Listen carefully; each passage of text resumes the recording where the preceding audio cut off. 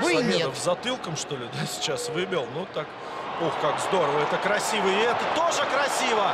Ударом поворотом мы не видели. В общем-то, больших претензий в защите, наверное, предъявить нельзя. Но вот, вот ничего Ой-ой-ой, себе. Зараих намотал.